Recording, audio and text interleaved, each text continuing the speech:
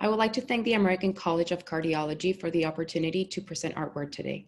I'm Anna Velez, and I will be presenting our study on outcomes in patients with chronic kidney disease who undergo coronary artery bypass grafting with multiple arterial grafts.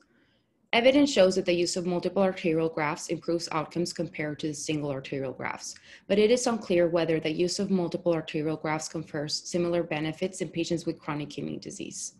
We examined 1,176 patients with chronic kidney disease, stage three or greater, which corresponds to a GFR of less than 60. We estimated the GFR using preoperative creatinine and the CKD equation, which is a recommended method by the National Kidney Foundation. Our cohort consisted in patients undergoing CABG with or without a valve procedure at the Johns Hopkins Hospital between 2008 and 2020, and we used the STS database. We excluded patients on dialysis and divided the cohort by the type of artery they received, multiple versus single.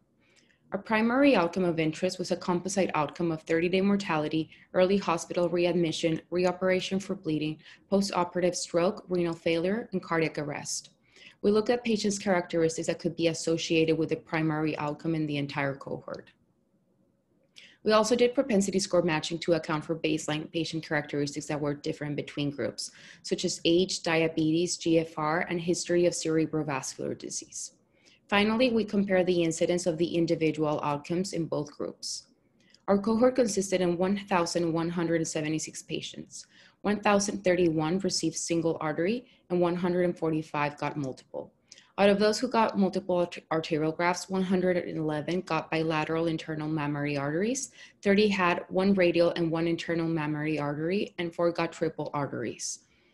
The majority of our cohort had chronic kidney disease stage 3A, were male, had hypertension, dyslipidemia, and the most common surgery was isolated CABG.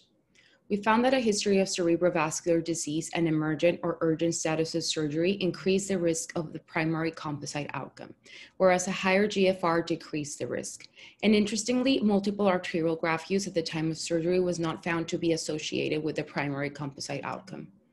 After propensity score matching, we had 84 matched pairs with no significant differences in patients' characteristics between groups.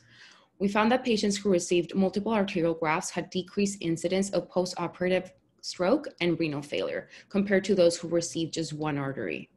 We hope that these findings will encourage others to consider the benefits of multiple arterial grafts in patients with chronic kidney disease. Further research is still needed in order to determine the short and long-term benefits of multiple arterial grafts in patients with chronic kidney disease. Thank you.